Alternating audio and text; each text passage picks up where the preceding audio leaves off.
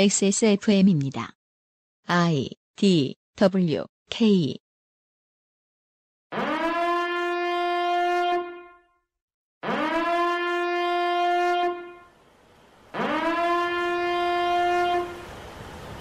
북한과 어떤 나라, 상대국은 아직 확실치 않지만 전면전이 임박한 것 같다는 뉴스가 가끔 보입니다. 원래 대선 때면 나오는 뉴스니까 그러려니 하고 싶은데 이상하게 요즘은 일면 톱으로 쓰진 않고 수줍게 국제면에 작게 배치하더군요.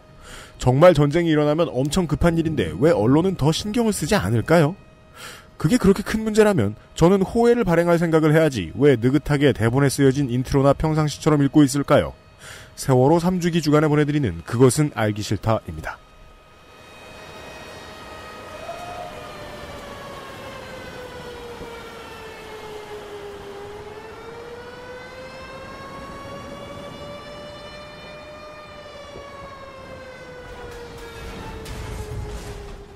지구상의 청취자 여러분, 어, 큰일 났습니다.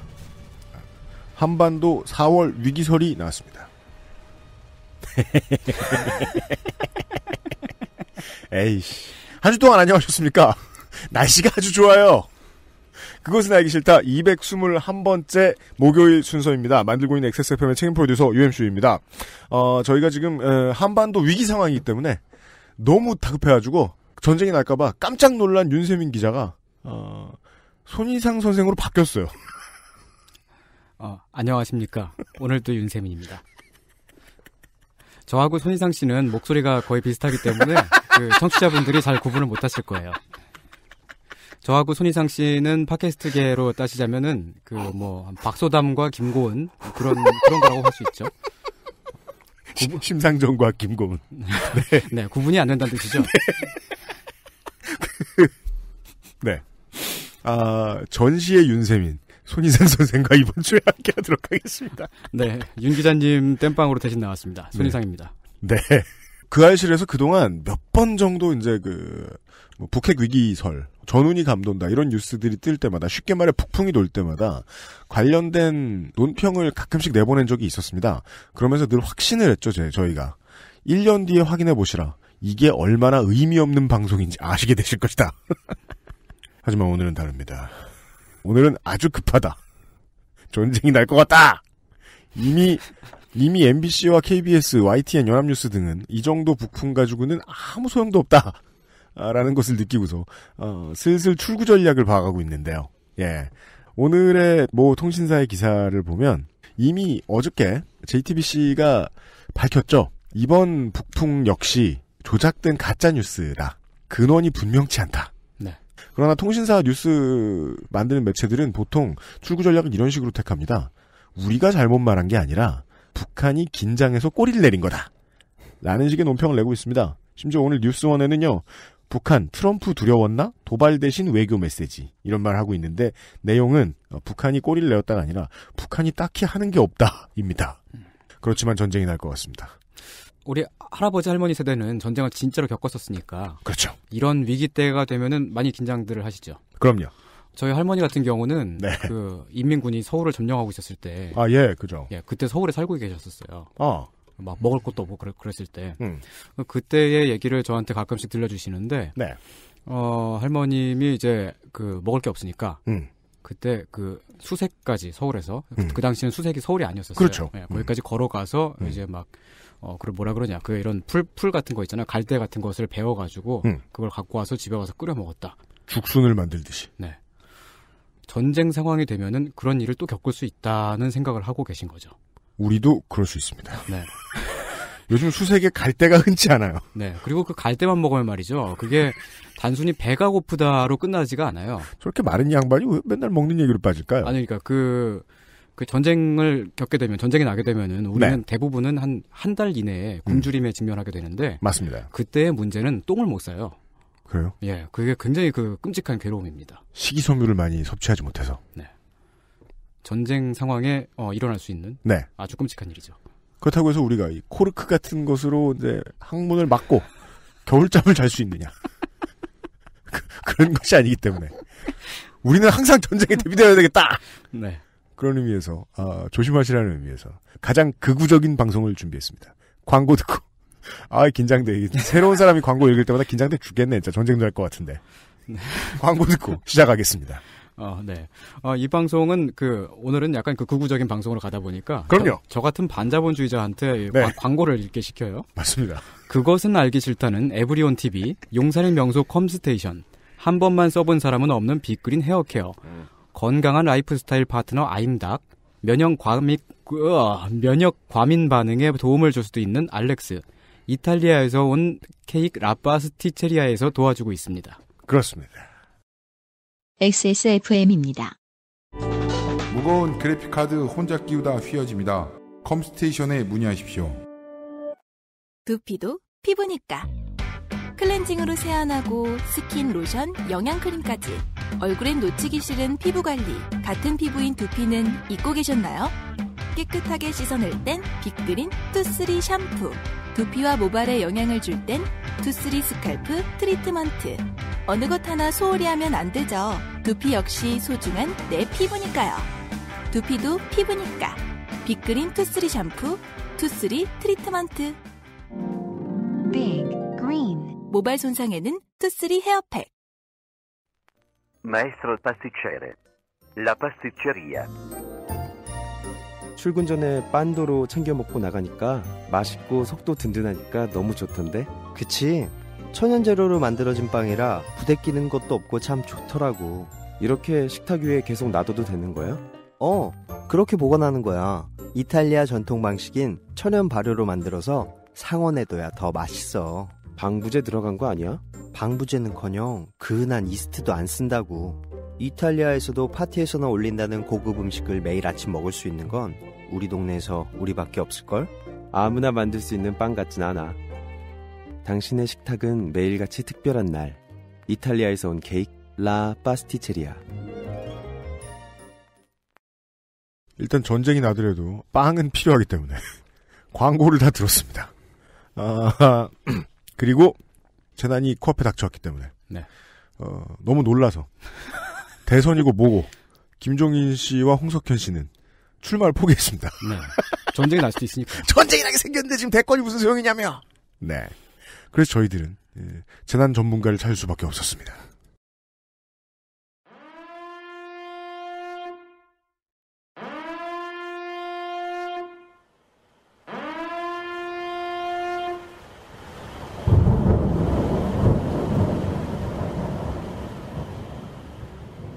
DIY 서바이벌 가이드북. 거의 모든 재난으로부터 살아남는 법.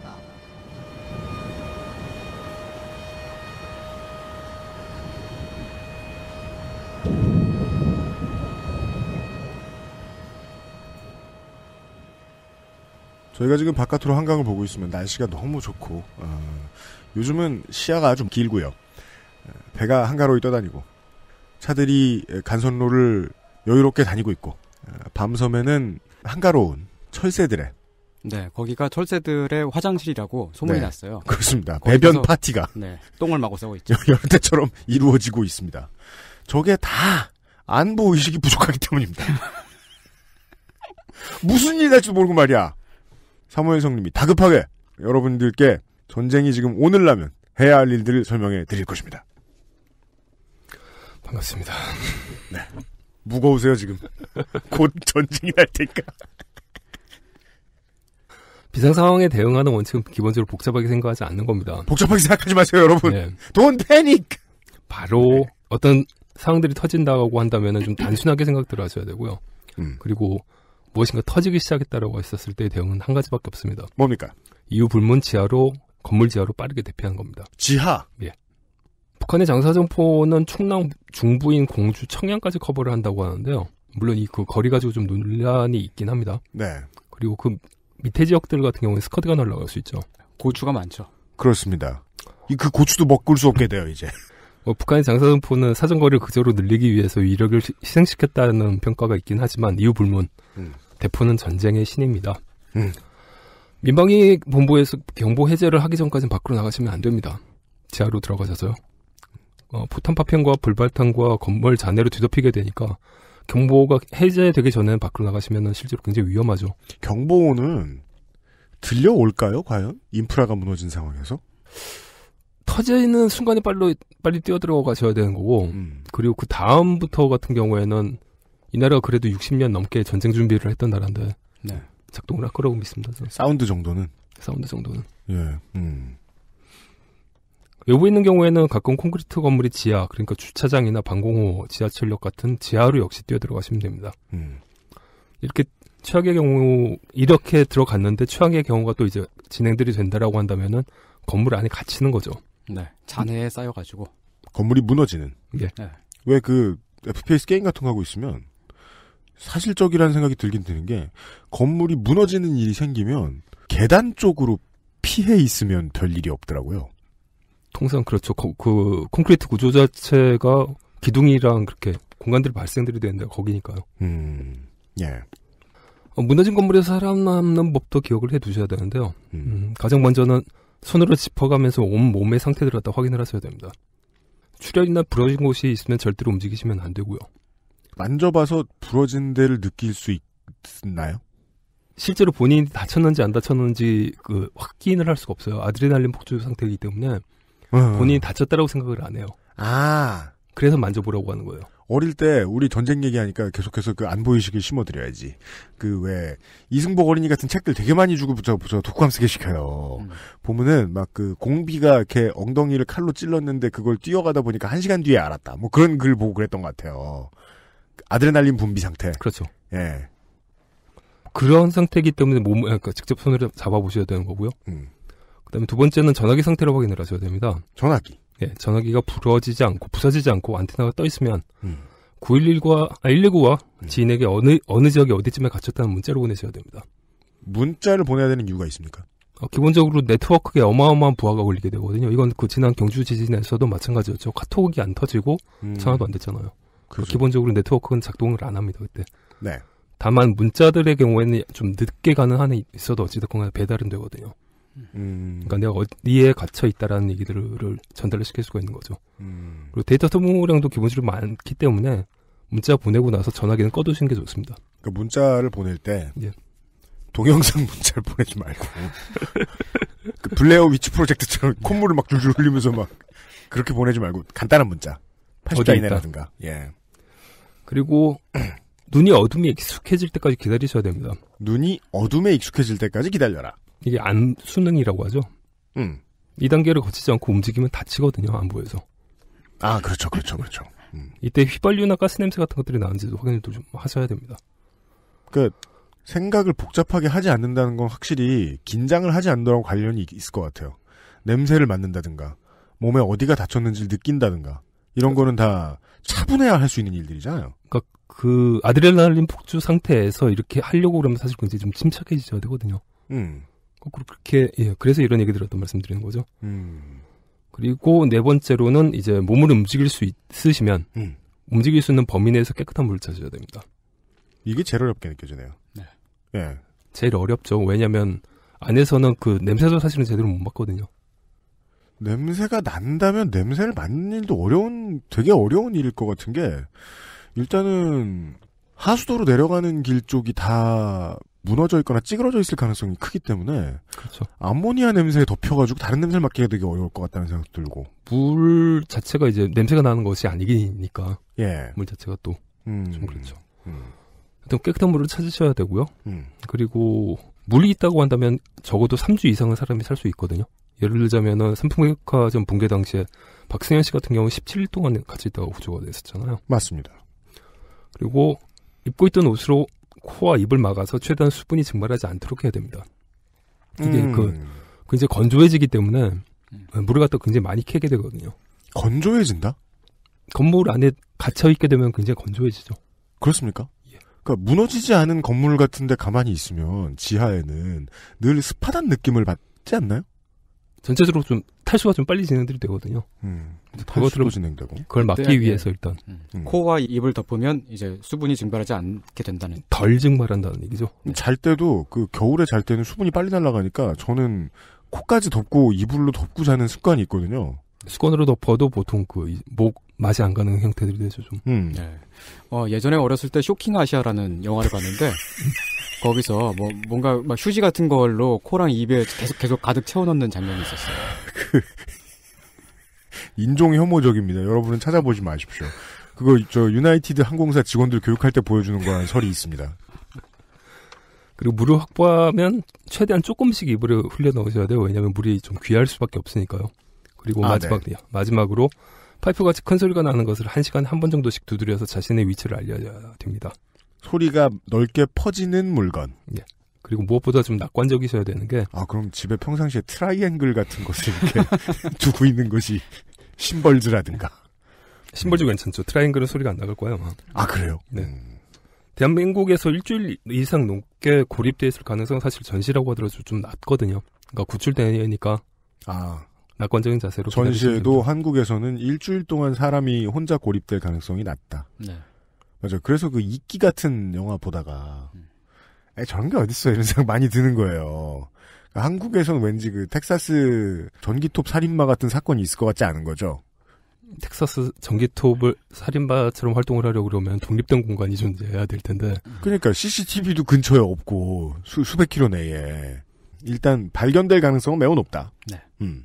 그러니 그 아주 낙관적인 자세를 가지고 기다 아, 그 기다리면 구출된다고 믿고 계셔야 됩니다. 그렇습니다.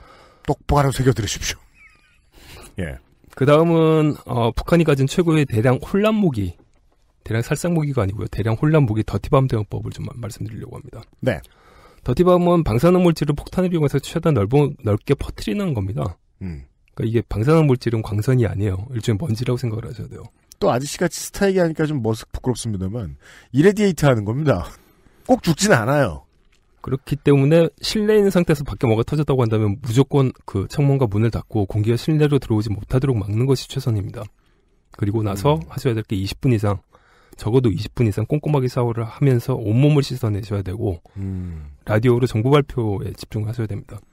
그렇습니다. 그 YTN 온라인 들어가 볼 생각하지 말라는 말씀이기도 합니다.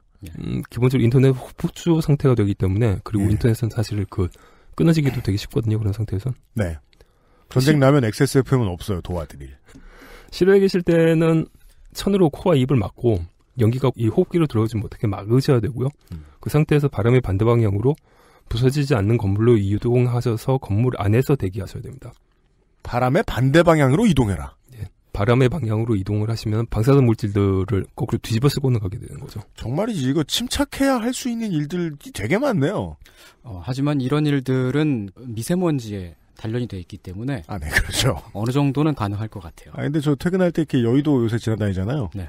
그 벚꽃 축제에 오신 분들 보면 벚고요? 벚꽃 꽃 아, 아 하긴 뭐, 너무 의외의 타이밍에 들어와서 나 진짜 아, 하긴 축제를 벚고 하면 좀 이상하죠. 예, 여의도 누드비치에 가시면 거기 이제 벚꽃 잎이 흩날리는데 네. 행락객들을 보면 아 배운 것이 없다 저 사람들. 그러니까 연인끼리 있으니까 다정해 보여서 그러나 뭐뭐 이렇게 먼지도 많은데 열심히 나가서 놀아 이런 생각이 드는데 아, 바람의 반대 방향으로 걸어가라. 군과 민방위본부 경찰 등의 안전요원에 따라서 집에 들어가시면 집에서 어, 들어간 즉시 옷을 갈아입으시고요. 아, 옷을 바로 벗고 샤워를 하시는데 그 옷들은 비닐봉지 안에다 집어넣으셔야 되고요. 비닐봉지 안에 넣는다. 네. 그리고 나서 폐기를 하셔야 됩니다. 버려야 됩니다. 네. 밀봉의 의미가 있군요. 밀봉을 하는 게 제일 좋죠. 왜냐면은 그 자체가 그 자체가 오염 물질이니까요. 그렇다면 그 우리가 저 만두 같은 거 먹고서 그 비닐 다시 이렇게 노- 지퍼백이요? 녹여서 붙여주는 아, 예 기계가 있어요. 고데기라 그러죠. 그거. 그렇습니다. 프로 주부들은 잘 씁니다. 예 그거 별로 안 좋아요. 그건 왜요? 열이 가해지면은 비산되거든요. 방사물질. 아, 아, 아. 그럼 그냥 묶어야겠네요. 그냥 뭉개 제일 나아요. 아, 알았어요. 예, 알겠습니다. 가장 주의사항은 이 옷을 태우시면 안 됩니다. 태우지 마라. 예. 그리고 태우려는 욕구를 느낄 이유가 있습니까? 오염됐다고 생각하면 사람들이 일단 태우려고 하는 경향들이 좀 있죠. 네. 아 이걸 태우고 연기를 들이마시면 그 수초 내에 코에서 코피가 계속 나올 거예요. 입에서 막 피토가 막 나오고요. 그리고 절대로 뛰시면 안 되게 됩니다. 극우적인 해석이다. 겁주는 게 탁월하셔. 아, 근데 예. 사실이요. 그, 시- 이, 방사능 오염물질들을 흡입하게 될 경우에는 그런 증상들이 나타나죠, 실제로. 음, 음, 네네네. 그리고 뛰시면 안 됩니다. 뛰면 안 되는 건 또 뭡니까? 뛰면 안 되는 게 그 코를, 일단 호흡을 막기 때문에 예. 이, 빨리 움직일 수가 없고요. 네. 그리고 뛰게 되면 호흡이 가빠지니까는 거꾸로 더 많은 숨들을 들이쉬게 되거든요. 네. 그러니까 허- 훨씬 더 많은 방사능 물질들을 몸으로 흡입하게 되는 거죠. 네. 그래서 뛰면 코에서 코피가 막 나올 거예요. 신진대사를 높이지 마라. 예. 그리고 재난 시리즈 처음 시작하셨을 때, 처음 시작했었을 때 제가 말씀드렸던 생존 배낭. 네. 198B 72시간의 기본 아이템에서 설명드렸던 생존 배낭을 꼭 챙기셔야 됩니다. 네. 198B회를 어, 참고를 하시고요. 네, 그렇습니다. 물론 오늘은 청취자 여러분들이 가능한 한 이 투철한 안보 정신으로 무장돼 있었으면 좋겠지만 그럼에도 불구하고 그 사무엘님이 꾸준히 말해주신 것 중에서 피해야 할 가장 중요한 것 중에 하나가 그 흥분인 것 같아요. 흥분. 네. 침착해라. 예. 근데 그거 잘 안 돼요. 내 해봤다는데. 이 지금 저 전차를 몰고 가서 빨갱이들의 대갈통을 부숴버리겠어. 이러면서 화를 내면 안 되겠다. 그러니까 아드레날린 분출로부터 멀어지라는 충고를 지금 계속 들은 것 같습니다. 안 그러면 바람의 방향도 알 수 없고 냄새도 맡을 수 없고 자신이 어디가 다쳤는지도 알 수 없다. 이러한 행동 수칙들을 기억해내실 수도 없게 되겠죠. 많이 흥분하면. 음. 그것도 그렇고 나머지 하나가 이 더티밤의 개념입니다. 이 더티밤이 영어로는 RDD라고 하잖아요. 방사능 물질 살포 장치라고 해요. 그, 그 RDD가 device로 끝나요. bomb이 아니고. 그러니까 그 폭탄급으로 쳐주지 않는달까요? 그 흥분은 하셔야겠지만, 아, 흥분하신다고 해도 요것 정도는 구별해 주셨으면 좋겠다. 이 dirty bomb이라는 게 양현석 씨의 마지막 싱글곡, 예, 이런데 나오는 뮤직비디오에서처럼 폭탄이 떨어진다고 해서 사람들이 막, 아, 이러고 갑자기 싹 사라지는 이런 게 아니라, 폭발로 인한 살상력을 가진 것은 아니고. 코피를 잠깐 흘리게 크지 된다. 네. 사람들을 지저분하게 살게 만든다. 그런 거라면 이제 사람이 똑똑해가지고 잘 피하면 피할 수도 있는 문제다라고 말하겠다. 요런 충고였습니다. 예. 시간 나면 더티밤에 대해서 한번 확인을 해보시고요. 매우 중요한 얘기를 지금까지 들었습니다. 어, 투철한 안보관 기억하십시오.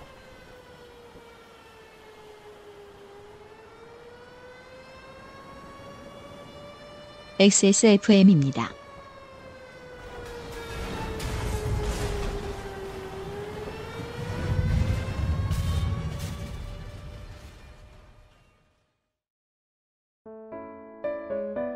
사람들은 면역 과민 반응을 잘 알지 못합니다.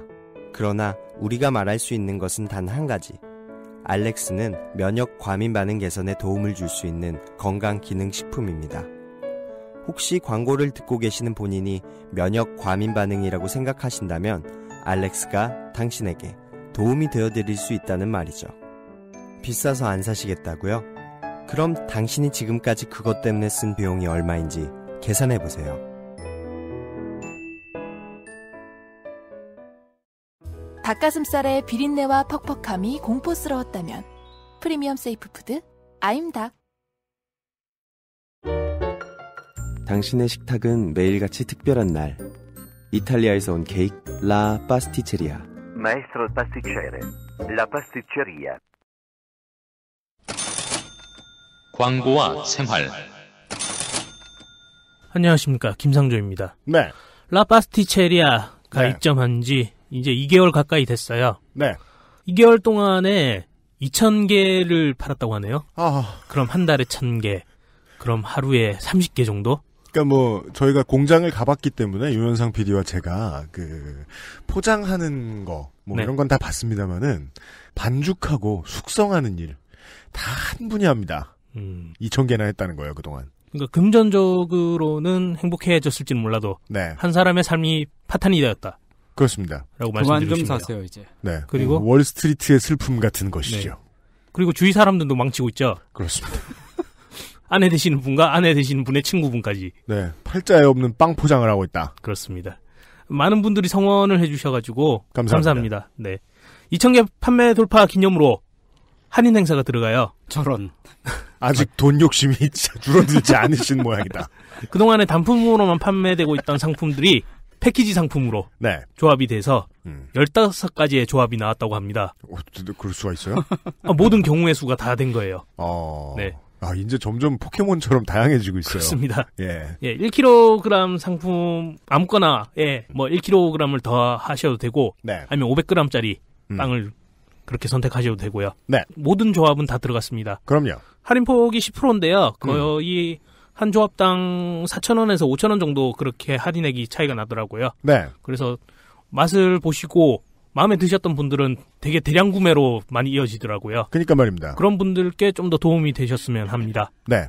쇼콜라티에 분들도 먹어보고 괜찮다는 얘기를 들었습니다. 전문가들 주변에 있으시면 데리고 와서 먹여달라. 선물용으로도 좋습니다. 그럼요. 감사합니다. 지금까지는 겁을 먹었고요. 다시 뉴스로 돌아와 보겠습니다. 사실에 입각한 어, 통신사의 뉴스를 한번 볼까요? 어, 트럼프 대통령과 어, 시진핑 주석이 12일 아침에 통화를 했습니다. 요즘처럼 선전포고 없는 전쟁이 많은 시대에는 통화를 하면 통화를 했다는 내용이 한국의 연합뉴스까지 건너갈 리가 없습니다. 이렇게 이렇게 치는 중이니까 빠져 계셔. 라는 정도의 대화를 했을 것이고 그것이 뉴스화되기도 어렵죠. 어, 둘이 통화했다는 내용은 다른 것 같습니다. 미국과 한반도 문제에 대해 지속적으로 소통하고 협조해 나가기를 원한다. 이게 오늘 전쟁 일으킬 사람이 할 말은 아니죠. 다시 돌아오겠습니다. 우리는 제정신으로. 제가 처음에 이제 이 방송을 이, 이런 얘기를 해보자라는 중요한 의미가 그동안 몇 번 이제 북의 위협 혹은 뭐 전쟁 위협 이런 것과 관련된 방송들을 내보내고 한 달만 지나면 속 이상에 견딜 수가 없어요. 전파 낭비한 것 같아서. 패켓 낭비겠죠. 진짜 화가 나요. 한 달만 지나서 보면 뭐 이런 얘기 왜 한 거야 싶은 거예요. 그리고 항상 그, 그게 그 선거 때 일어나죠. 그래서 얘기 안 하려고 그랬어요. 똑같은 공식으로 똑같이 움직이니까. 그런데 이번에는 이번에는 신문을 보니까 좀좀 작게 나온 거예요. 아니 북풍이라는 건 블록버스터예요. 블록버스터. 많은 사람이 들어가고 많은 돈이 들어가야 만들 수 있는 작품인데 그 작품을 만들어 놓고 일면에 안 까? 아예 안 까면 몰라. 작게 까? 너무 이상한 거예요. 어색하게들이. 그래서 이것은 좀 도움 말씀을 들어봐야 되겠다. 라는 생각이 들었을 뿐이었습니다. 다시 정신으로 돌아옵시다. 네, 스마일 성님을 모셨습니다. 뭐예요, 그게? 정말 타이밍 알 수 없네, 이 양반. 윤세민이 아니었네. 예. 사무엘 성님, 스마일 성님입니다. 제가 그것은 알기 싫다에 처음 나오게 됐던 게 그 여기저기 환타님이랑 책을 같이 한 거였기 때문이죠. 아, everywhere 환타님. 네. 예. 요즘 그 책을 제가 개정한다 정, 정신이 없는데. 네, 그렇습니다. 한 반 정도 바꾸면 될 거라고 생각을 했는데 열어보니까 한 75% 정도 바꿔야 되더라고요. 거의 모든 재난으로부터 살아남는 법 개정판이 나옵니다. 이게 그 예를 들면 이런 일들이 발생이 된 거죠. 그 비행기 안에서 벌어졌던 안전사고 유형들 같은 경우 좀 단순했거든요. 그리고 진상질이라고 하는 거는 대체로 고객의 몫이었죠. 어제부터 세상이 바뀌었어요. 그러니까 이 뭐 라면 먹고 제대로 끓여내라, 뭐 마카다미아 땅콩 제대로 갖고 와라, 뭐 이런 것들 가지고는 진상질 하시는 분들이 계셨는데, 네. 저는 비행사가 고객한테 진상질을 안 해요. 네, 승무원들이. 그러니까 뭐 그 비행기를 탔는데 유색 인종이라는 이유로 두들겨 맞는 그런 세상이 됐단 말이죠. 그렇습니다. 이전에도 사실은 해외여행을 하려고 하면 비행기들을 선택을 할때 음. 나쁜 항공사, 좋은 항공사라는 그 이- list up들은 돼 있었었어요. 아 그런 게 있습니까? 네. 음. 그러니까 뭐 최악의 항공사 list up 해 보면은 어, 대체로 그 방글라데시 비만 에어, 네팔 항공 뭐 이런 곳들이 들어가죠. 비만 에어예요? 예. 비만 에어가 방글라데시예요. 아, 음. 그리고 뭐 부출이 이제 들어갔던 게 그 엊그제 사고를 냈던 그 항공사하고 네. 또 다른 미국 항공사들도 대체로 그 수- 그 나쁜 쪽 순위에 들어가 있었죠. 그리고 음. 우리나라 국적기들 같은 경우에는 항상 그 좋은 쪽에 들어가 있고. 아 그래요? 네. 아시아나와 칼? 예, 고추장을 주잖아요. 아 그건 그래요. 그건 어서 팔지도 않는 rare한 걸 주잖아요. 네. 프랑스 가는 항공사들은 그런 진상 없습니까? 없었습니까? 나쁜 항공사? 어, 저는 제가 어, 프랑스에서 국외로 떠나는 음. 비행기를 여섯 번을 탔는데 지금까지 네. 그 중에 네 번이 비행기가 한 번에 뜨질 않았어요. 저는 프랑스에 갈 때마다 짐이 없어졌어요. 그러니까 그 네 번이 저는 어떻게 된 거냐면은 한 번은 음. 눈이 와서 비행기가 안 뜬 건데 음. 밖에 보니까 그냥 눈이 진눈깨비가 날리고요. 음. 쌓이진 않았었어요. 음. 프랑스는 이제 눈 내리면 눈, 눈 오는 게 그렇게 흔하지 않으니까 음. 밖에 보니까 막 직원들이 나가서 막 사진 찍고 있고 막 그러더라고요. 근데 아. 예, 근데 그것도 이제 뭔가 이제 그 비행기가 안 뜨는 상황이다라고 음. 해가지고 음. 뭔가 환불 절차 같은 걸 하고 있고. 아 맞아요. 남해 컨츄리 클럽에 네. 그 눈 오면 부킹 취소한대요. 맞아요. 프랑스 항공사라고 하면은 대체적으로 그냥 전반적으로 신뢰하지 않아요. 아, 아 예. 제 기억으로는 그 78년인가 그랬던 걸로 기억- 기억하는데 파리 공항이 파업을 했거든요. 네. 근데 그 당시에 파리 공항이 허브 공항이어서 네. 거길 통하지 않으면 한국으로 들어올 방법이 없었던 거예요. 샤를드골. 예, 네. 그래서 저희 가족이 본의 아니게 유럽 여행을 한 한 달 정도 했던 걸로 기억을 합니다. 어휴, 화끈하게 파업하네요, 거기는. 사실 파업이면 문제랄 것도 없지. 정상적인 대책은 저 회사들이 수립을 해줘야 되는 거니까. 비행기 때문에 겪을 수 있는 재난급이라면. 음. 예. 파업급이 아니라. 예, 이거 지금 뭐 비행기를 탔는데 안 내린다고 두드려 맞는 상태가 되면 아, 그렇죠. 네. 그건 정말 심각하잖아요. 네. 이거는 그 이 최악의 리스트들이 어떤 것들이 있고 어떻게 찾아야 되는지까지는 설명을 해드려야 되는 거죠. 쓰는 내용이 많다 보니까 요즘 진도 못 빨리, 아, 빨리 못 뽑는다고 출판사로부터 원고 추심을 좀 세게 받고 있어요. 예. 원 고 추심. 원고 원- 추심. 제가 대선 전까지 여기 나오지 못할 거라고 생각을 했는데. 근데 지금, 예. 저 4월 위기설인데, 지금. 네, 예. 트럼프 대통령 각하 덕택에 네. 이게 중간에 나오게 되네요. 네. 일단 그 지금 현재 상황이 어떤 상황인지를 좀 설명을 해드려야 될 것 같습니다. 이건 뭐 그 군대 갔다 오신 분들은 다 아는 얘기긴 합니다만, 네. 우리 방송 청취자분들이 구- 어, 군대 갔다 오신 분들만 계신 건 아니죠. 음. 지금 음, 상황을 보려고 그러면 어, 무기 체계가 어떤 것들이 모여 있고 그리고 여기에 어떤 사람들이 어떤 짱구로 지금 현재 참여를 하고 있으며 무엇을 하려고 하는지 그래야지 이제 어떤 대, 그러니까 어떤 수위의 대응들을 한게 음. 맞는지를 갖다 정리를 해볼 수가 있겠죠. 아, 예비역 병장이 그걸 어떻게 알아요? 예. 뭐 잡초의. 종류, 뭐 이런 거 말씀하실 줄 알았네. 항공모함이라고 하면 네. 영어로 aircraft carrier잖아요. 그러니까 비행기를 싣고 다니는 배. 네. 이게 그 뭐 얼마만큼 싣고 다니냐에 따라 여러 가지 구분들이 되긴 하지만은 음. 보통 미국의 항공모함이라고 하면은 배수량 8만 톤급 이상의 비행기를 한 전투기를 50대에서 70대, 70대 정도를 싣고 다니는 비행기들이죠. 아, 아. 배들이죠. 아, 항모 얘기가 먼저 나오네요. 네. 네. 근데 이 최신의 전투기로 50대에서 70대라고 하면은 보통 한국보다 조금 덜 무장한 국가들의 공군 병력 전- 전체가 되죠. 공군 병력 전체. 예. 음. 근데 지금 이게 항공모함이 세 대가 와 있거든요. 한국이요? 한국 근처로 지금 아, 모이겠다고 하는 그 그렇죠. 항공모함들이 세 척이죠. 그리고 음. 항공모함만 오는 게 아니고 항모는 기본적으로 전단이라고 해가지고 다른 배들을 끌고 다니거든요. 네. 이게 그, 네 척에서 다섯 척 이상의 이지스 전투, 전투함에 상륙함 한 척이 있을 수도 있고, 뭐, landing 플랫폼이 따로 있을 수도 있고요. 두 척 이상의 공격형 잠수함. 떠다니는 거가 사실은 한 나라가 가지고 있는 거의 모든 무장이나 다름이 없습니다, 보통. 음. 그러니까 이게 지금 그 세 개 나라가 지금 떠 있는 거죠. 한반도 주변으로. 그 비유는 이제 우리나라의 해군 병력과 공군 병력 수준을 감안했을 때 우리나라 세 개 군대 정도가 모여 있는 거라고 봐도 좋다. 어지간한 해군 국가 병력 전체죠, 거의 떠 있는 건. 음. 네. 특히 지금 현재 그 오가 있는 배들이 세- 아, 그러니까 항모전단이 3개면은 그 미국이 가지고 있는 항모전단이 10개인데 그 중에서 보통 한 3개 정도 한 3분의 1 정도는 그 유지 보수한다고 도크에 들어가 있거든요. 아, 네. 배에 떠 그러니까 바다 위에 떠 있는 거는 3분의 2 정도인데 음. 그 중에서 절반이 와 있는 거죠. 그러니까 미국이 가지고 있는 무장의 전 절반이 와 있는 거니까 미국 언론들이 오도 방정을 좀 부릴만 하긴 합니다. 음, 아. 미국 언론의 입장에서 북한의 무슨, 북한 주변에 미군이 무언가를 벌이고 있다라는 거를 포장해서 내보내줘야 되는 이유가 거기까지 간 기름값이 있지 않겠느냐 정도라고 러프하게 생각을 해볼까요? 근데 문제는 좀 북한인데요.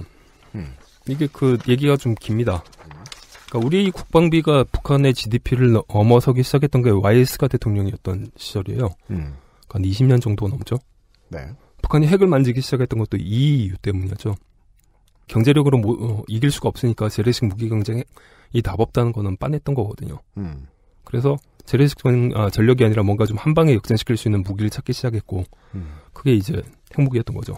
네. 마침 또 이제 북한에는 우라늄 광산이 있고요. 음. 그리 오래되지도 않았습니다. 그러니까 북한 입장에서는 전기 만들고 핵무기도 만들자 뭐 이런 꿍꿍이었는데 그래서 보수당이 이런 얘기를 하게 된 거예요. 문민정부 이후부터 개발을 하기 시작했으니까 북핵을 이제 햇볕 정책의 결과물인 것처럼 포장하기가 타이밍이 좋았다는 거죠. 어, 전혀 그러니까 이 해당 사항은 사실은 없는데 이게 좀 거기에 또 북핵 얘기가 나오기 시작하면은 이상하게 북한이 호그와트가 되더라고요. 호구와트요. 호그와트가 되더라고요. 네. 거기 거기는 이제 마법사들이 사는 곳이고 우리는 네. 먹을들이 사는 곳이고. 맞아요.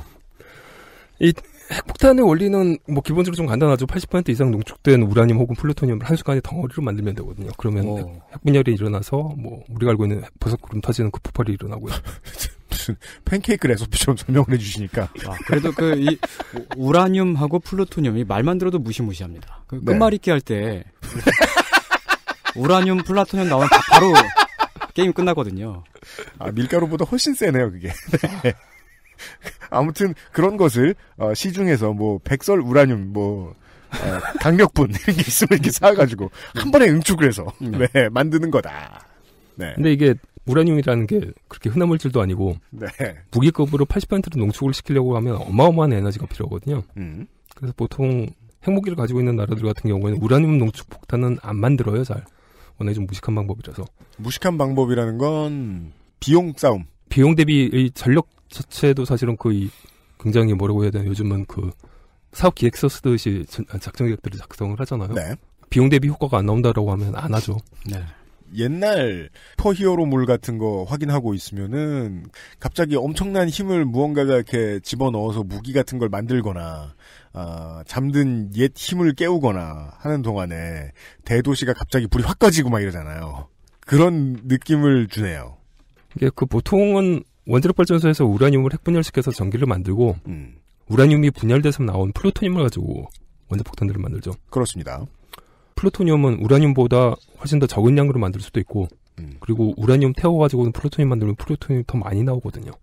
문제는 그런데 이 처리를 빨리 하지 않으면 음. 핵폭발을 일으킬 수 있는 플루토늄 확보하기가 어렵습니다. 핵 분열이 되는 물질이라는 게 음. 자연상에 많지도 않거니와 좀 안정적이지 않은 물질들이잖아요. 음. 다른 걸로 바뀌는 거죠. 냉면 배달 같은 거죠. 어, 냉면이 불어버리는 상태.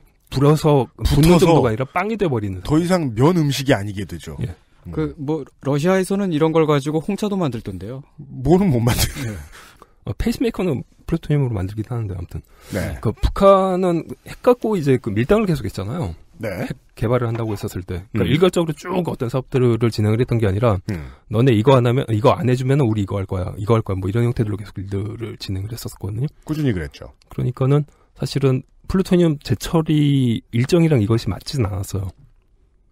음. 그래서 그 핵폭발을 일으킬 수 있는 실제적인 플루토늄 양은 알려진 것보다 훨씬 더 적다고 봐야 됩니다. 북한이 소유하고 있는 보유하고 예. 있는 양은. 실제로 영변 핵시설에서 처리해가지고 플루토늄을 만들었던 것보다 훨씬 적은 양을 가지고 있다고 봐야 되는 거죠. 예. 실제로 꽤 많은 핵물리학자들은 지금까지 북한이 했던 그 다섯 번의 핵실험이 음. 핵실험 맞냐라고 하거든요. 더군다나 이게 약간 그 논리적인 부분들에서 더 말이 되는 거는 뭐냐면은 음. 관련된 산업이 없다라고 하면 축적할 수 있는 기술은 기본적으로 한계가 있을 수밖에 없거든요. 음. 그렇죠. 네. 그러니까 예를 들자면은 설계도 있다고 이지스함 만들 수 있는 거 아니란 말이에요. 음. 아, 관련 산업. 산업 자체가 뒷받침이 돼야지 이 부분들이 만들어지고는 어떤 것들이 개발들이 되고 뭐 어떤 성공들을 하든 실패를 하든 어떤 거 어찌됐건 간에 진행들이 되는데 관련된 것들이 전혀 없는 상태에서 쭉 개발들을 한다라고 하면은 제대로 그게 붙질 않죠. 현대전의 가장 중요한 요소인 자본주의의 부재군요. 산업 시스템 자체의 부재. 예. 그죠. 음. 우라늄만 있다라고 해가지고 핵무기 만들 수 있는 거 아니거든요. 그러니까 대표적으로 우라늄 가산이 가장 많은 데는 아프리카 대륙인데 네. 아프리카 대륙에서 어, 나는 게 지금 뭐야 그 매장량으로 돼 있는 게 남아공에 한 2억 5천만 톤, 나미비아에 1억 8천 2백만 톤, 니제르에 1억 8천만 톤 정도의 우라늄이 매장돼 있다라고 하는데 왜 이들 중에 그들이 세계 최강대국이 아니냐? 이들 중에서 실제로 핵무기장을 시도를 했던 나라는 남아공밖에 없죠. 음.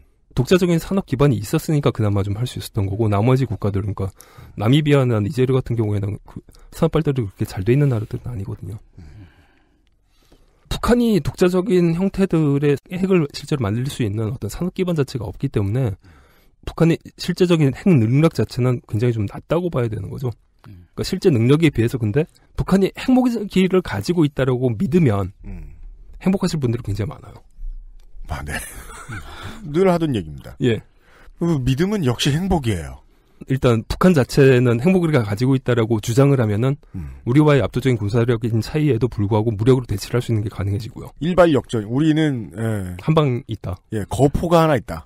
그리고 북한의 핵무장에 대응을 해야 된다라고 하는 것은 군수산업의 굉장히 훌륭한 핑계죠. 계속 이제 무기들을 사야 되는 이유가 되는 거니까요. 군수 비리의 훌륭한 피드백이 된다. 그리고 정치 권력도 쉽게 얻을 수 있죠. 네. 북한의 위협이라고 하면은 모든 것들을 덮어버릴 수가 있으니까요. 음, 아니 언제나 알고는 있었던 문제인데 20년어치를 한꺼번에 10분에 들으니까 그런 스토리는 알겠네요. 북해군 한국의 정치 세력의 체질을 약화시켰달까요? 경쟁력을 얻게 만들어서. 그러네요. 무력화됐네요. 네, 북한 어 북한과 한국뿐 아니라 주변국들에게도 북한이 핵을 갖고 있다고 믿는 것이 더 유리할 수 있겠죠. 그런가요? 일본 같은 경우도 재무장의 이유가 되죠. 아, 아, 네. 미국 같은 경우는 이제 뭐 사드를 팔아 먹을 수도 있고. 팔수 있는 거가 한두 가지가 아니죠. 굉장히 많죠, 미국은. 아, 하긴 북핵으로 일발 역전이 되는지 모르겠지만 군수 장사를 하기 시작하면 미국은 수출이 마이너스 플러스에 있어 일발 역전이 가능할 수 있죠. 수출이 마이너스 플러스에서 플러스로 미국이 올라서죠. 왜냐면 우리가 사고 있는 무기의 양들이 더 많으니까요. 우리가 왜냐면- 미국에서 얻는 무역 흑자보다. 포드 GM 차를 그렇게 많이 팔 수는 없기 때문에. 음. 선키스트 오렌지라든가. 또 맛있는 미국 건 뭐 있어요? 어, 뭐 땡도날드? 아, 땡프로스트. 아, 예, 그렇죠. 예.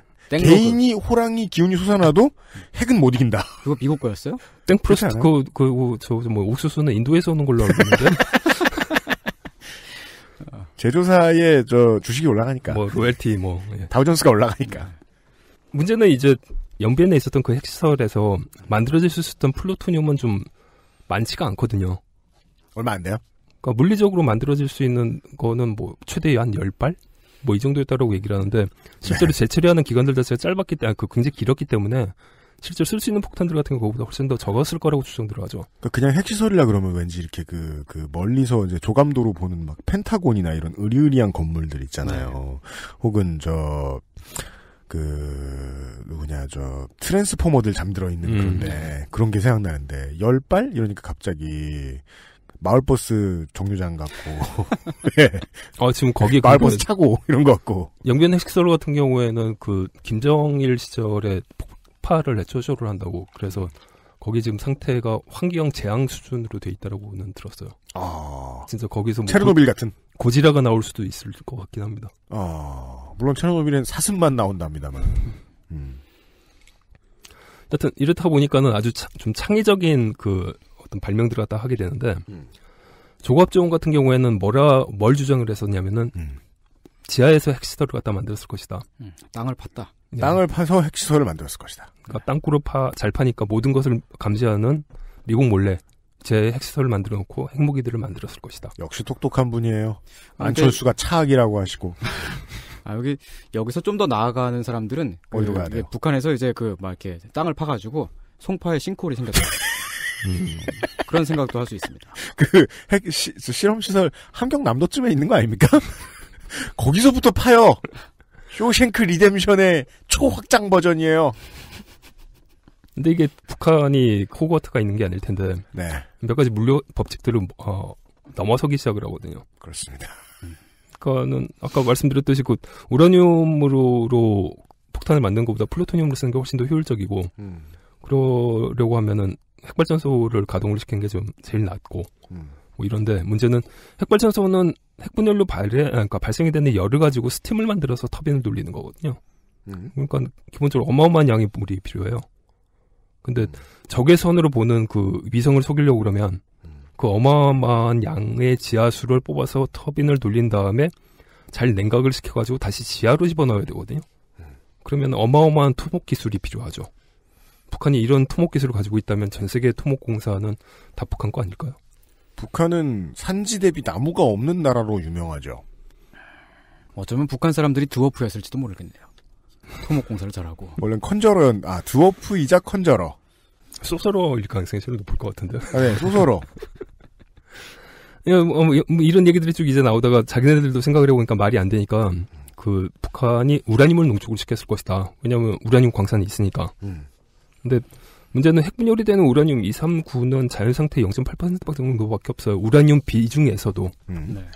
그걸 이걸 80%까지 농축을 시키려고 그러면은 어마어마한 에너지가 필요하죠. 근데 북한은 그런 에너지가 없거든요. 난방비도 없는데 걔네들은. 그렇습니다. 그러니까 북한이 실제로 핵무기를 가지고 있을 가능성은 말 그대로 마- 만에 하나의 가능성이지 현실적이라고 보기엔 좀 어려워요. 만에 하나란 공식적으로는 0.01%. 네. 그러니까 0.001%. 네. 일반적으로 사람들이 생각하는 정수론, 그러니까 사람들이 생각하는 숫자는 정수여야 되니까 음. 없는 거죠 그냥. 네. 무한소. 음.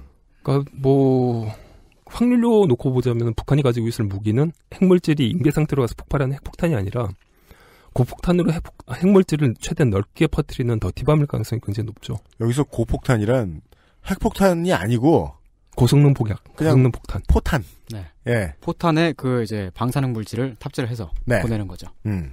그래서 이런 무기들은 아까도 말씀드렸지만 대량 살상 무기가 아니고요. 음. 대량 혼란 무기죠. 왜냐하면 대량 살상을 할 수 없어서. 어, 대중의 패닉 자체가 더 큰 위력을 가지는 테러용이니까요. 그 테러형 무기라는 표현을 우리가 쓴다는 건 테러가 무섭다가 아니라 그 무기로는 전쟁을 주도할 수 없기 때문이라는 의미가 또 담겨 있잖아요. 사람들에게 공포를 주는 것이 제일 우선이지 실제의 파괴력은 그렇게 크질 않죠. 예, 여기서 이제 전쟁을 주도할 수 없다는 건 타격을 받는 쪽에 전력의 손실을 가져오기는 불가능에 가깝다. 무기라고 얘기하기는 좀 민심을 어노잉하게 만드는 수준. 그럼에도 불구하고 왜 이런 뻥카를 그러면 이제 열심히 치고 있는 거냐. 김일성 시절부터 지금 그 김정은 3대 이르기까지 북한이 미국에게 요구하는 거는 독립된 국가로 인정을 해달라는 거죠. 네.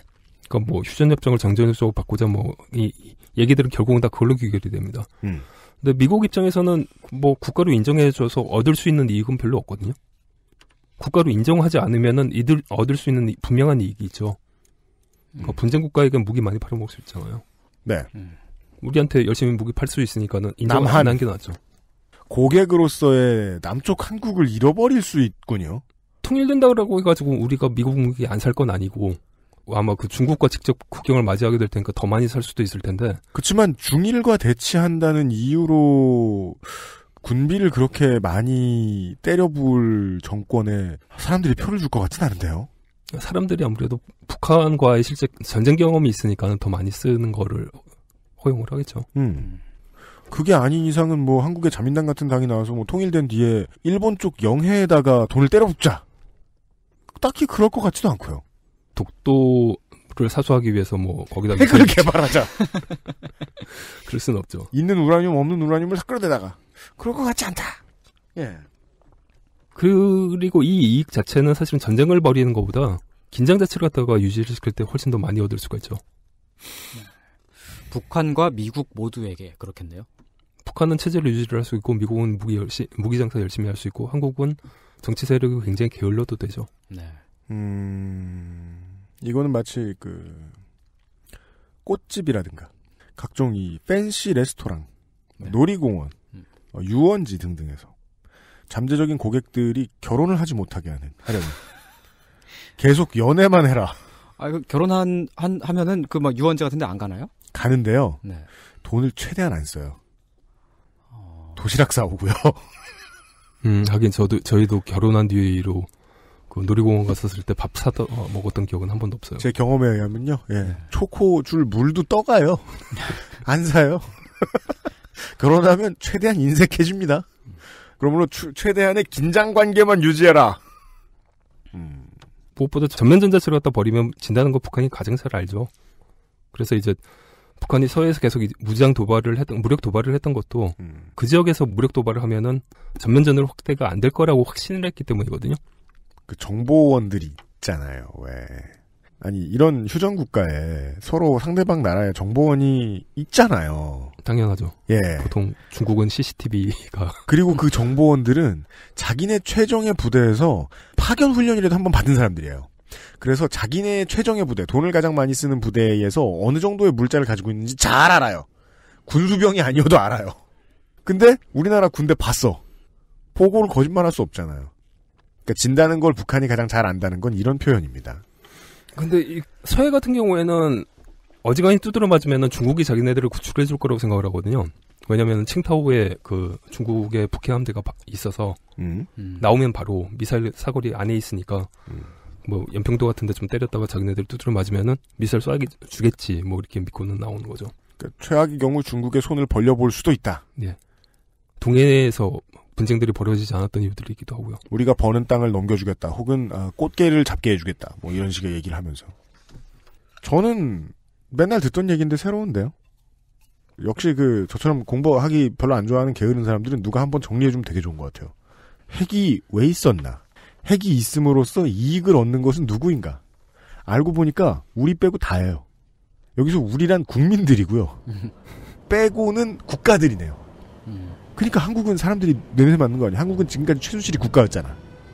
그렇다면 무기 사업을 하지 않았을까 생각하는 거 아닙니까? 그런 것까지도 한꺼번에 알아볼 수 있었습니다. 예. 물론 우리는 투철한 안보의식이 있어야 되지만 전쟁 난리 없다. 가능성이 매우 낮다. 네. 어, 전면전으로 갈 가능성이 낮다. 그렇습니다. 하지만 그럼에도 불구하고 네. 어, 오늘은 아, 안보 특집, 있다. 네. 네. 극우적 시각에서 보는 안보 특집이기 때문에 TV조선도 그렇게 하지 않는 최악의 경우에는 어떤 일이 있을 수 있을지 생각을 광고를 듣고 해보도록 하겠습니다. XSFM입니다.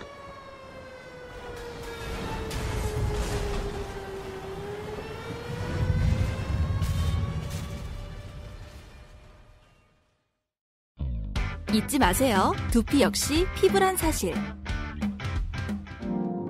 Big Green 엑세스몰에서 만나는 빅그린 헤어케어 시스템. 용산에 있는 사람들은 컴퓨터 전문가지 내 컴퓨팅 환경까지 전문가는 아니니까 문의하실 때 저희를 신뢰하지 않는 고객들도 많이 만나 뵙습니다.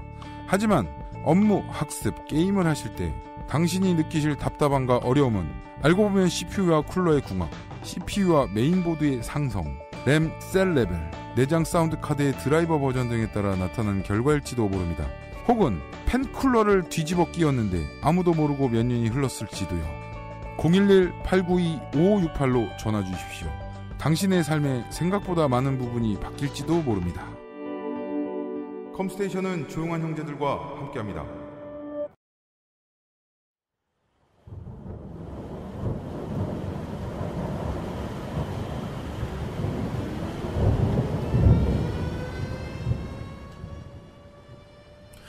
평생 가야 5400rpm 하드디스크를 끼워놓고서 아, CPU를 바꿨으니 램을 늘렸으니 빨라지겠지 하고 생각하는 아, 순진한 옛날 분들도 많이 우리 방송을 듣고 있습니다.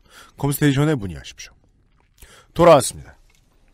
미국과 북한의 소요라고 봐야 되죠. 안 그래도 어차피 그 지난 안민주 정부 10년 동안 한국은 이제 대북 관련해서 늘 뒷전 일곱 번째 여덟 번째 자리에 있었기 때문에 한국은 늘 중요하지 않았기 때문에 그건 문제가 되지 않고 이번 북미 관계의 쇼에서 최고의 수혜자는 도널드 트럼프 현 대통령이 맞기는 맞습니다.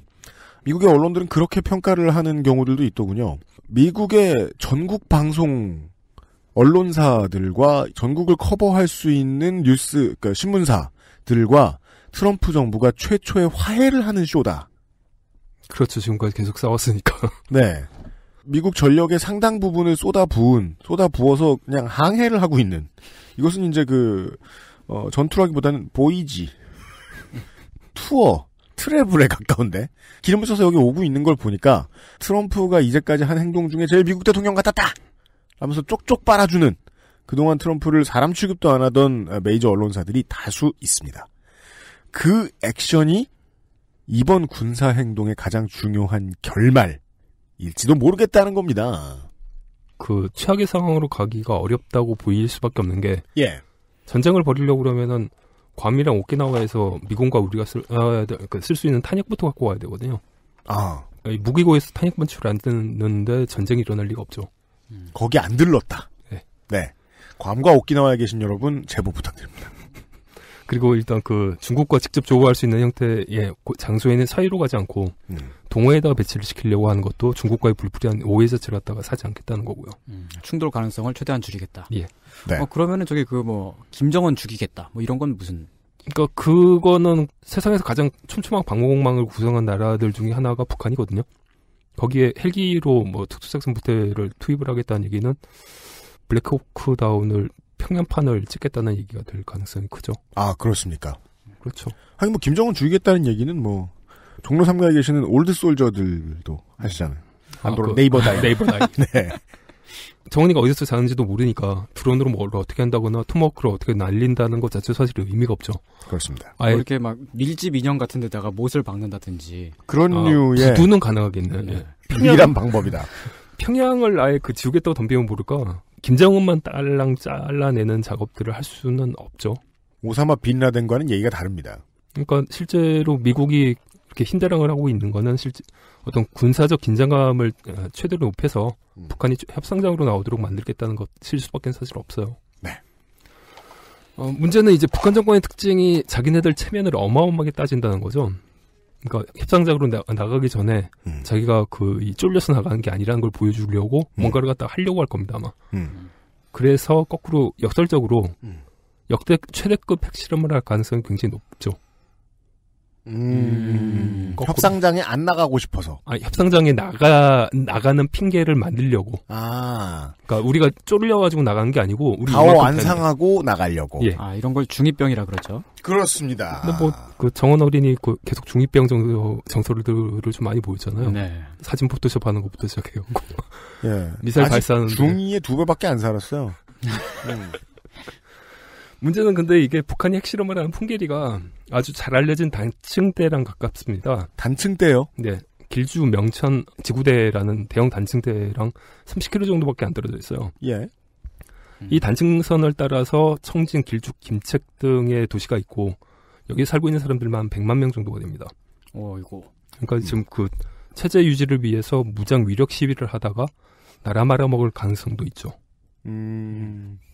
뭐 일부에서는 백두산화산 폭발 얘기를 하긴 하는데 근데 이게 핵실험으로 규모 7 이상의 인공지진이 발생될 경우를 어, 놓고 예상들을 하는 거거든요. 네. 그러니까 지금까지 뭐 북한 핵실험으로 일으켰던 지진 규모들을 놓고 보면 한 5 정도인데 음. 규모 7이 되려고 그러면 지금까지 실험했던 것보다 100배 이상이 터져야 됩니다. 와. 그러면은 이건 전술 핵무기가 아니라 전략 핵무기 수소폭탄이어야 되는 거죠. 어, 그것도 자국 영토 안에서. 예, 그러니까 뭐, 뭐, 원자 폭탄을 가지고 있는데 좀 의심스러운 상태인 상태와 수소폭탄 사이에는 엄청난 간극이 있는데, 이런 거를 뭐 북한이 개발해서 어떻게 할 가능성은 사실은 없죠. 그러니까 핵실험으로 인해서 백두산 폭발이 된다는 얘기는 좀 뻥이고요. 음. 반면 이제 북한이 대화를 끝까지 거부를 하겠다고 한다면은, 네. 그렇다고 한다면 이, 여기서 이제 어떤 그 제한된 형태들이 도발할 가능성들은 좀 있죠. 예전의 경우들을 놓고 보자면은 서해에서 연평도 포격과 같은 음. 그런 제한 공간, 제한된 공간에 대한 도발들을 할 수가 있겠죠. 음. 그래서 앞서 말씀드렸던 방송 시작하면서 말씀드렸던 준비들은 음. 이런 이유들 때문에 염두에 좀 두셨으면 하는 내용들이었습니다. 음. 음, 아, 폭격이 떨어졌을 때. 포격이 시작됐을 때. 네. 음. 그 건물 안에 갇혔을 때. 음. 살아남는 방법. 네. 그 정도 기억하고 계시면은 뭐 이 음. 상황 넘어가는데 별 문제 없으실 겁니다. 연평도를 생각해 보니까요. 민가에 지하실이 있는 집이 별로 없는 동네예요. 걱정스럽긴 합니다. 거기까진 생각할 수도 있다. 근데 이게 그 트럼프 대통령 같은 경우에 아마 그 국내 정치력을 놓고 봤었을 때 그 자리에서 물러나기 전까지 이런 종종 위기 상황들이 발생들이 될 것 같긴 합니다. 쇼는 많이 할 것이다. 예. 네. 오늘 들은 얘기로 몇 가지 추측을 가능하게 할 수 있었을 것 같습니다. 청취자 여러분들도요. 지금까지 전체의 이 지난 한 4반세기 동안의 북미 관계가 일관된 기존 하나 가지고 있었다는 거죠. 북풍이 불 때마다 이게 강대 강의 대결이라고 생각했는데 조선일보가 그렇게 쓰듯이 봤더니 이건 쇼 대 쇼의 대결이었다. 혹은 강한 쇼와 강한 쇼의 대결이었다. 공부 자세히 하시면은 아마 그, 저 뭐냐, Texas hold'em 같은 게임 하시기엔 되게 좋을 것 같아요. 아. bluffing, bluffing 치는 방법에 대한 모든 기술들이 다 나오니까. 아. 뻥카를 치는 방법이죠. bluffing을 알면 이제 바쁘고 짜증 날 때 아, 택시가 끼어들지 못하게 이렇게 운전하는 법을 배우게 된다는데 저는 그렇게 택시를 다 보내드리는 편입니다만 스포츠 엔터테인먼트의 일환이다 라는 점 그리고 트럼프는 집권 초기에 왜 이런 쇼가 필요했는가에 대해서 간단히 예측을 할 수 있었고요 또 하나는 하다 보면 어, 최소 민간인의 약간의 희생을 담보로 하는 쇼도 나올 수 있다 근데 기억컨대 한국은 그럴 때마다 늘 표심이 많이 흔들렸다 요 정도까지는 생각을 했습니다. 이런 얘기가 될 줄 알았습니다. 그럼에도 예, 안보 의식 버리지 마십시오. 예. 그리고 이제 뭐 민주정부가 이제 북한 에, 이제 대북 관계에서 어, 한국의 대한민국의 위상을 올려놓았던 것이 이제 얼마나 국제 정세에 있어서 우리에게 유리하게 작용했는가 하는 문제는 곧 있을 대선에서 뭐 표로 결정을 해서 보여줘도 되는 문제고요. 사무엘님의 말씀에 의하면 전쟁이 났을 때나 전쟁이 나지 않았을 때나 어, 침착할 때 의미가 있겠습니다. 이런 모든 것들이. 어, 재난 전문가 사무엘 성님을 재난이 올지도 모를 것 같다고 누군가가 말하는 상황에 불러서 귀찮게 해드렸습니다. 이번 주에 고생하셨습니다. 감사합니다. XSFM입니다.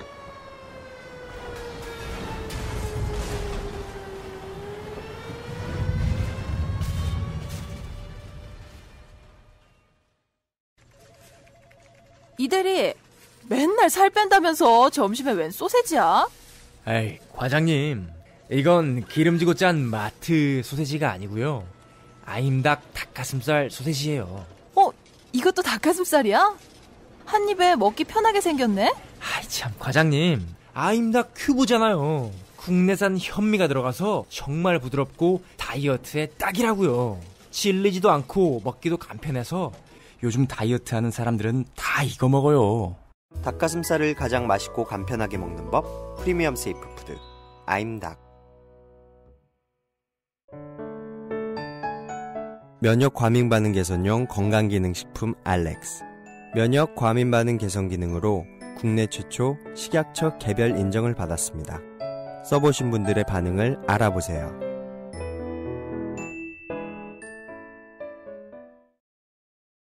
아, 우리 CF 스타 아시죠? 스티븐 호킹 박사가 고급 승용차 광고하시잖아요. 예, 예. 어, 깜짝 놀랄 만한 북한의 근거 없음에 대한 이야기들을 오늘 들어보았습니다. 근거가 이렇게 없는데도 장사를 이렇게 잘해 먹다니 그동안 한국의 보수 집권은 정말 뭘 열심히 했구나 라는 생각이 많이 듭니다. 네. 이렇게 해서 제가 만든 지 한 달 뒤면 또 크게 후회할 전쟁 관련된 이슈에 그것은 알기 싫다. 221회 목요일 순서였습니다. 손희상 선생으로 빙의한 윤세민 기자와 네, 윤세민이었습니다. 내일 이 시간에 다시 만나 뵙도록 하겠습니다.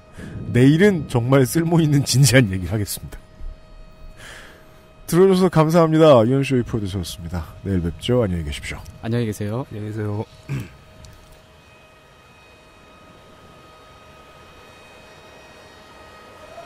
XSFM입니다. I D W K